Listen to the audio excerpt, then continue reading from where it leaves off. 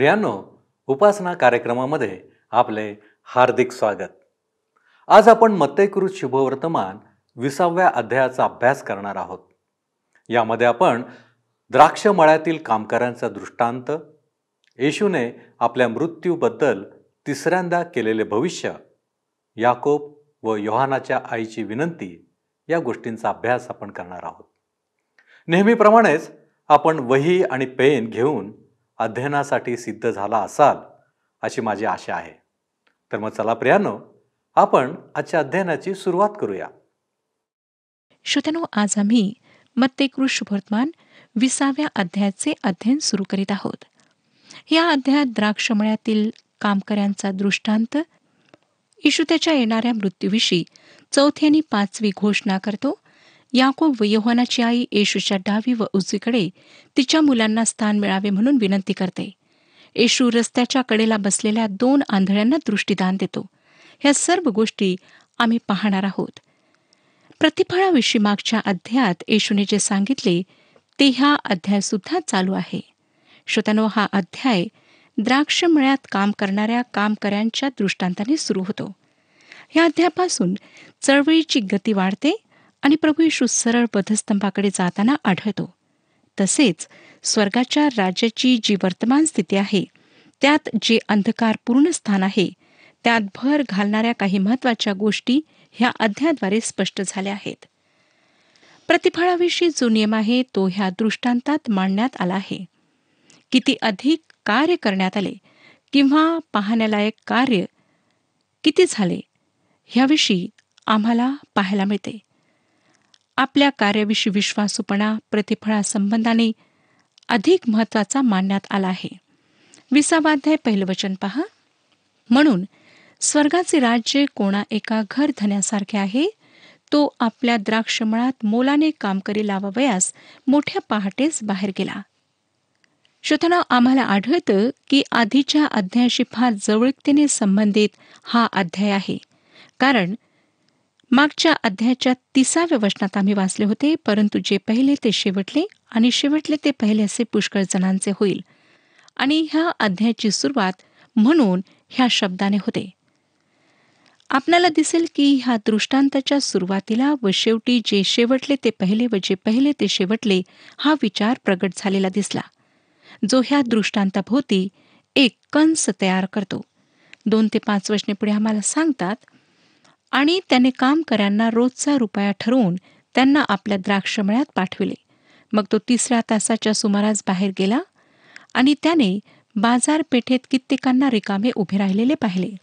तो त्यांना म्हणाला तुम्ही ही द्राक्षमळ्यात जा जे योग्य ते मी तुम्हाला देईन. आणि ते गेले. पुन्हा सहाव्या व नवव्या तासाच्या सुमारास त्याने बाहेर जाऊन तसेच केले. श्रोत्यानु सहावा तास म्हणजे भर दुपार आणि नववा तास म्हणजे दुपारचे तीन. नंतर सहा ते पंधरा वशने मग अकराव्या तासाच्या सुमारास तो बाहेर गेला तेव्हा आणखी कित्येक उभे राहिलेले त्याला आढळले. त्यांना त्याने म्हटले तुम्ही सारा दिवस येथे रिकामे का उभे राहिला आहात? ते त्याला म्हणाले आम्हास कोणी कामावर घेतले नाही म्हणून. त्याने त्यास म्हटले तुम्ही ही द्राक्षमळ्यात जा. मग संध्याकाळ झाल्यावर द्राक्षमळ्याचा धनी आपल्या कारभाऱ्याला म्हणाला कामकऱ्यांना बोलाव आणि शेवटल्यापासून आरंभ करून पहिल्यापर्यंत त्यांना मजुरी दे. तेव्हा जे अकराव्या तासाच्या सुमारास लाविले होते ते आल्यावर त्यांना रुपया रुपया मिळाला. मग जे पहिले आले त्यांना आपल्याला अधिक मिळेल असे वाटले तरी त्यांनाही रुपया रुपयाच मिळाला. तो त्यांनी घेतल्यावर घरदाण्याविरुद्ध कुरकुर करीत म्हटले ह्या शेवटल्यांनी एकच तास काम केले. आम्ही दिवसभर उन्हातानात कष्ट केले आणि आम्हास व त्यास आपण एकसारखे लेखिले? तेव्हा त्याने त्यातील एकाला उत्तर दिले गड्या मी तुझा अन्याय करीत नाही. तू माझ्याबरोबर रुपयाचा ठराव केला की नाही? तू आपला रुपया घेऊन चालायला लाग. जसे तुला तसे ह्या शेवटल्यालाही द्यावे अशी माझी इच्छा आहे. जे माझे आहे त्याचे मी आपल्या मर्जीप्रमाणे कराव्यास मुखत्यार नाही काय? अथवा मी उदार आहे हे तुझ्या डोळ्यात सलते काय? श्रोत्यानो हा एक असा विलक्षण दृष्टांत आहे ज्यात फार महत्त्वाचे सत्य वर्णिलेले आहे. ह्यात आपण किती वेळ काम करता किंवा आपले पद किती उच्च आहे किंवा आपण किती सन्मानित महत्वाची व्यक्ती आहात हे महत्त्वाचे नाही. परंतु जे कार्य देवाने आम्हावर सोपवलेले आहे ते आम्ही किती विश्वासूपणाने करतो हे महत्त्वाचे आहे. मग ते कार्य कितीही लहान असो कमी वेळात होणारे असो किंवा लोकांना कमी महत्त्वाचे वाटणारे असो. ते जर आम्ही विश्वासूपणाने करतो तर त्याचे प्रतिफळ आमच्यासाठी मोठे आहे. होऊ शकतं की मंडळीतील एक गरीब विधवा जी कधीच लोकांच्या नजरेत येत नाही जिला अधिक लोक ओळखत सुद्धा नाहीत जिने कधीच पुढे होऊन गान समूहात किंवा दुसऱ्या ठिकाणी भाग घेतला नाही परंतु तिने जर आपल्या एकुलत्या एका मुलाला चांगले शिक्षण देऊन पुढे त्याला देवाच्या सेवेसाठी पाठवले. आणि जो आज अशा लोकांमध्ये सुवार्ता गाजवित आहे ज्यांनी कधीच ख्रिस्ताचे नाव सुद्धा ऐकले नव्हते तेव्हा ती विधवा देवाने तिच्यावर जे कार्य सोपवले त्यात विश्वासू राहिली असे आम्ही म्हणू शकतो. आणि परमेश्वर त्याच्या दृष्टिकोनातून तिला अधिक महत्त्व देतो. तिला अधिक मान सन्मान आणि आदर परमेश्वराच्या द्वारे मिळतो. काही जण एकदम रागात येऊन म्हणतील की मी देवासाठी जितके कठीण परिश्रम करीत आहे जितका वेळ देत आहे तितका वेळ तर तिने दिला नाही. श्रोत्यानो ही गोष्ट खरी असू शकते परंतु परमेश्वर आपण जे कार्य केले ते कमी किंवा अधिक ह्या आधारावर आपणाला प्रतिफळ देत नाही. जे कार्य करण्यास त्याने आपणाला बोलावले ते कार्य आपण किती विश्वासूपणाने पूर्ण केले त्याच्या आधारावर तो आम्हाला प्रतिफळ देतो. होऊ शकतं की देवाने आम्हाला फार मोठ्या कार्यासाठी पाचारण केलेले नाही. परंतु जे काही त्याने आम्हाला करण्याकरिता दिलेले आहे ते आम्ही विश्वासूपणाने करायला हवे. येशू ख्रिस्त त्याच्या मृत्यू व पुनरुत्थानाविषयी चौथ्यांदा घोषणा करतो.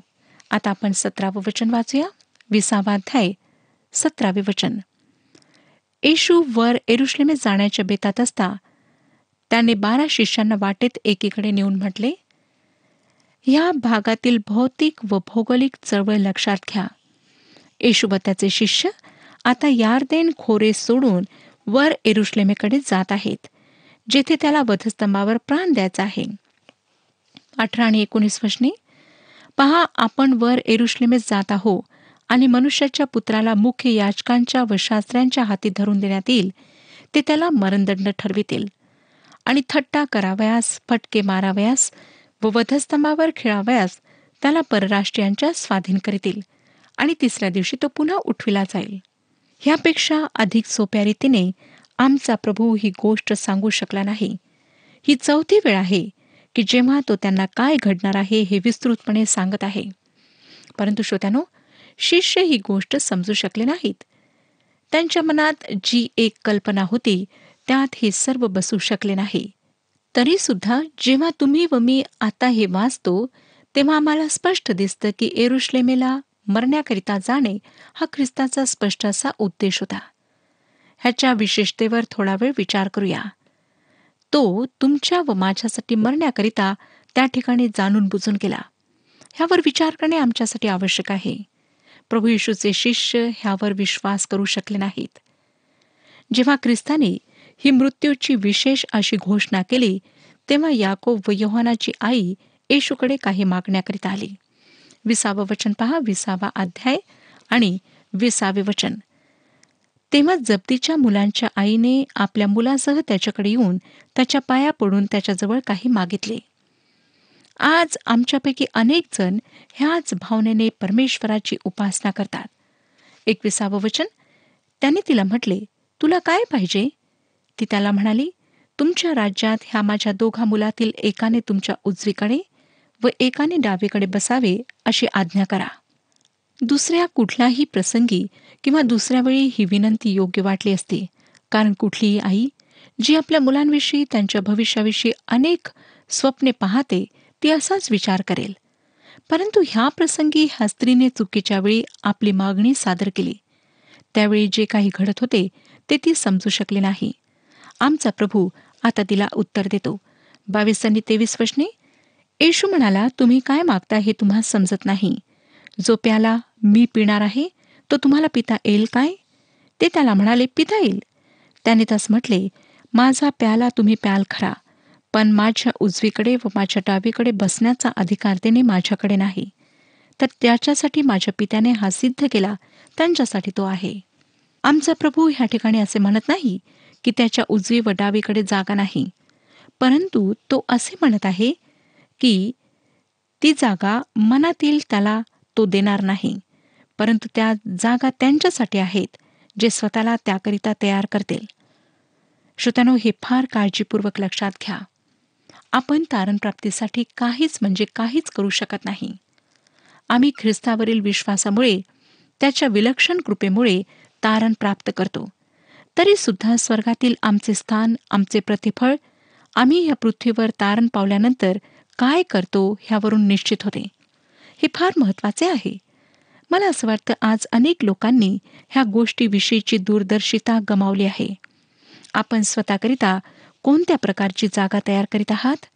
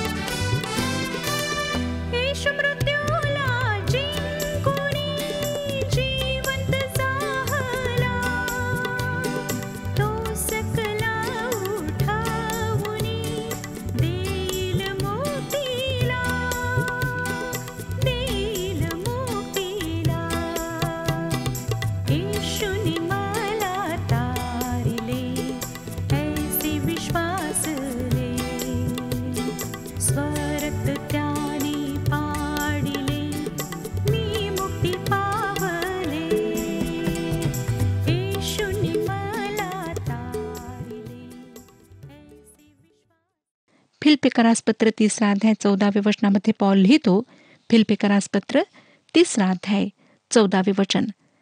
ख्रिस्त येशूच्या ठाई देवाचे जीवरील पाचारण त्या संबंधीचे बक्षीस मिळविण्यासाठी मर्यादेवरील खुणेकडे मी धावतो हेच एक माझे काम.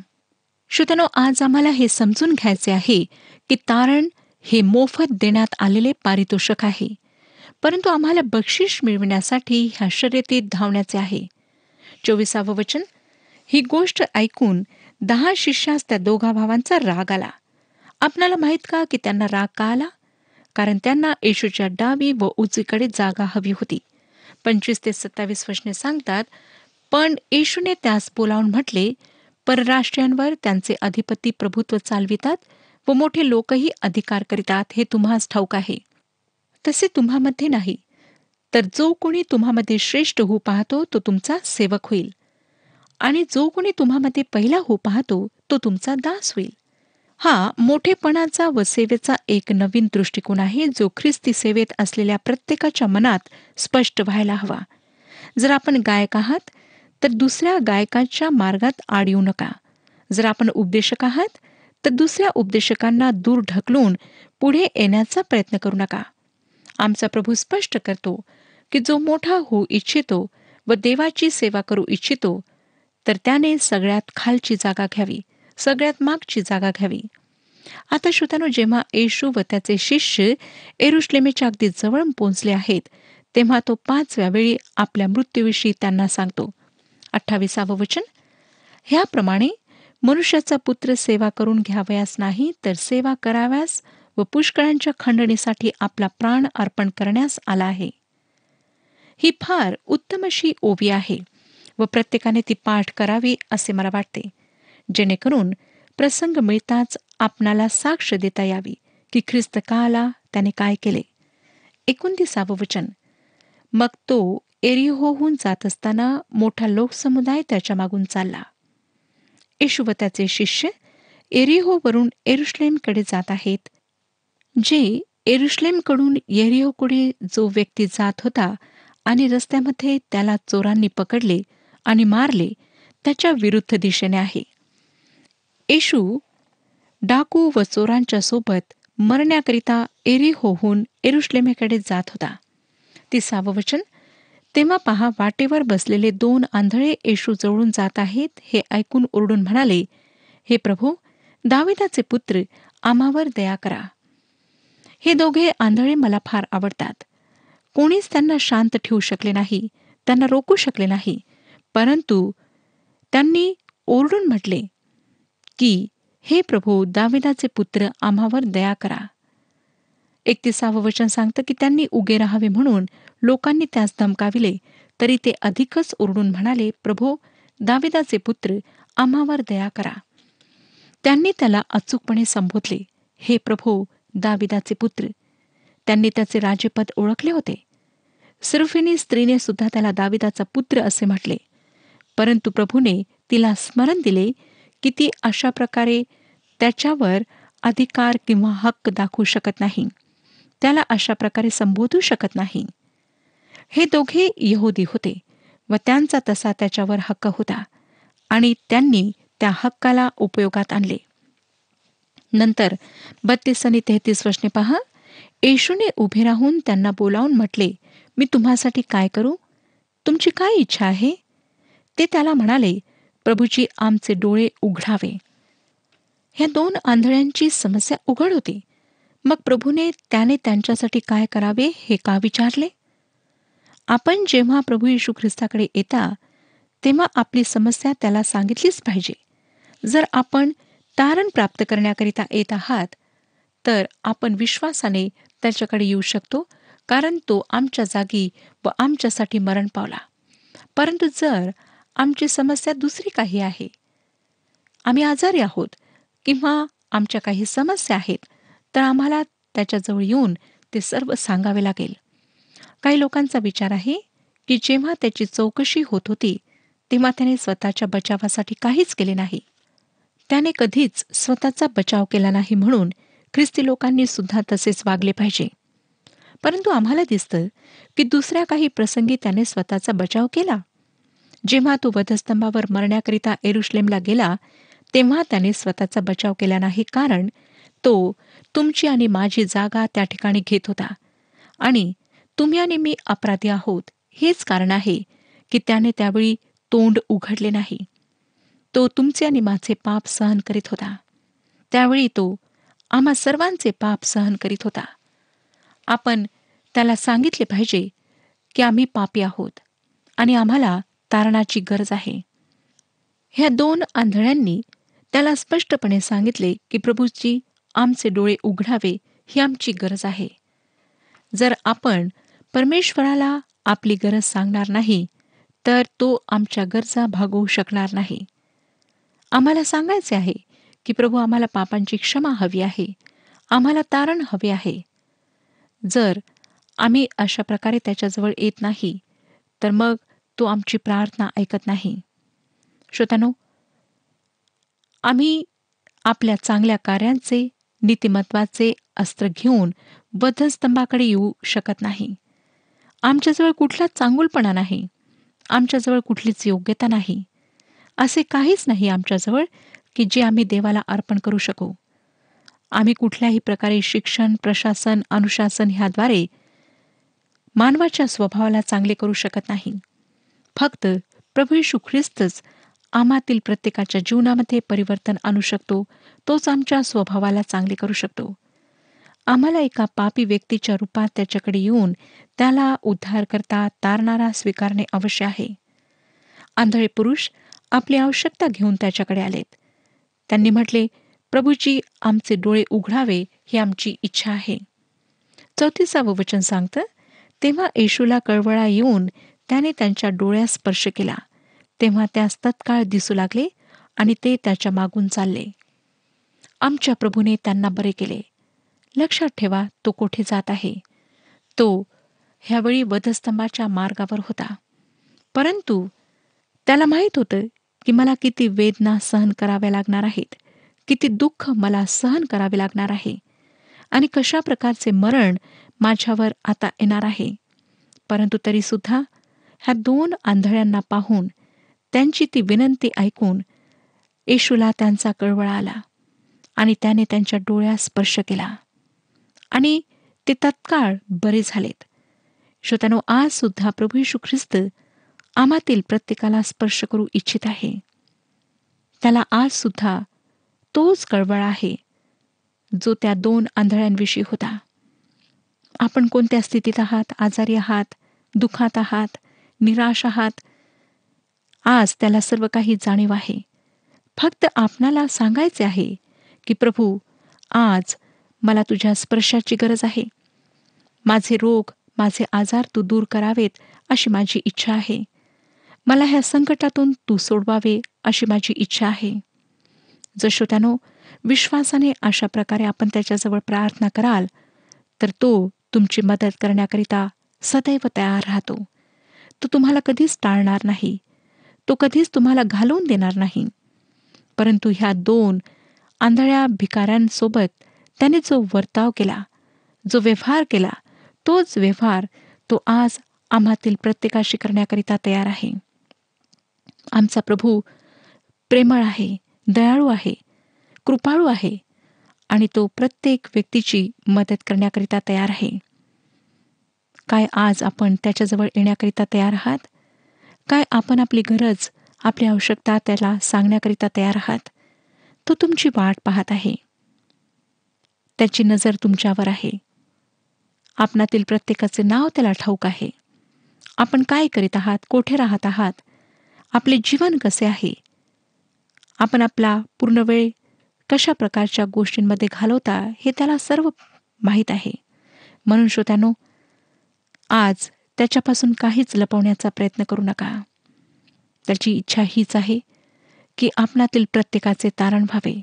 कारण वचन सांगतं की मनुष्याचा पुत्र सेवा करून घ्यावयास नाही तर सेवा करावयास व पुष्कळांच्या खंडणीसाठी आपला प्राण अर्पण करण्यास आला.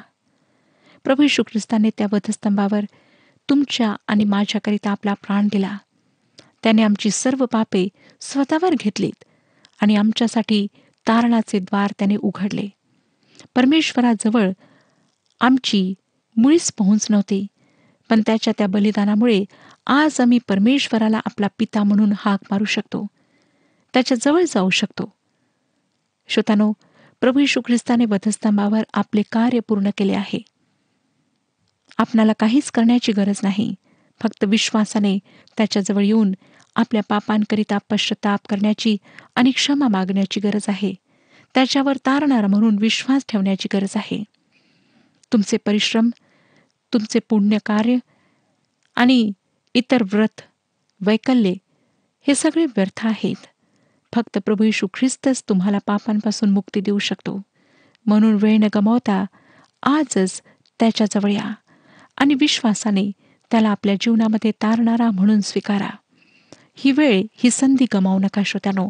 होऊ शकतं की पुन्हा ही संधी आपणाला प्राप्त होणार नाही. म्हणून आजच ह्या क्षणी ख्रिस्ताला आपल्या हृदयामध्ये स्थान द्या. प्रभू परमेश्वर ह्या विषयात आपले मार्गदर्शन करो आणि आपणाला आशीर्वाद देऊ हा कार्यक्रम आपणास आवडला काय? आता आम्हाला एक मिस कॉल करा. आणि आपण पुढील विजेता होऊ शकता.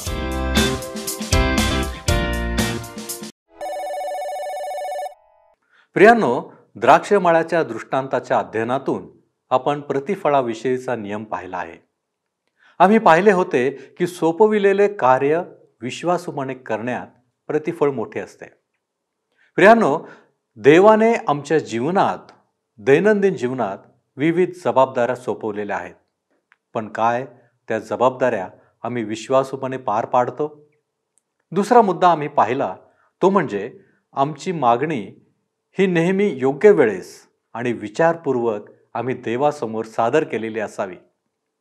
तिसरा मुद्दा आपण शिकलो तो म्हणजे आम्ही येशूला ओळखणे आवश्यक आहे. त्याच्याकडे येऊन त्याला आमची समस्या खरी गरज सांगणे क्रमप्राप्त आहे. आजही आमच्यासाठी येशूकडे कळवळ आहे. आमची स्थिती तो जाणतो. म्हणून त्याच्यापासून काहीच लपवू नका. आपण प्रार्थना करू. सर्व गोष्टी जाणणाऱ्या आमच्या महान प्रेमळ परमेश्वरा तुला धन्यवाद देतो प्रभूजी. तुझ्या चरणापाशी तू आम्हाला घेतलेला आहेस एकत्रित केलेला आहेस. आणि या संधीच्या द्वारे तू आम्हाला अधिक जवळ आणलेला आहेस. की ज्याच्याद्वारे आम्ही तुला ओळखू शकतो तुला जाणू शकतो तुझी इच्छा आम्ही समजू शकतो आणि विशेष करून आमच्या जीवनामध्ये आम्ही आमच्या इच्छेनं नव्हे तर तुझ्या इच्छेनं आम्ही जगण्याचा प्रयत्न करू शकतो. होय प्रभूजी दृष्टांताच्या द्वारे तू आमच्याशी बोलत आहेस. तुझ्या वचनांच्या द्वारे मार्गदर्शन करीत आहेस. होय बापा हे वरील ज्ञान घेण्यासाठी आमच्या अंतकरणामध्ये साठवून ठेवण्यासाठी आणि त्याप्रमाणे कृती करण्यासाठी तो आम्हाला शक्ती दे सहाय्य कर. येशू ख्रिस्त आमचा प्रभू याच्याद्वारे मागतो म्हणून तू ऐक. आमेन. प्रभू येशूची कृपा आपणाबरोबर सदैव असो.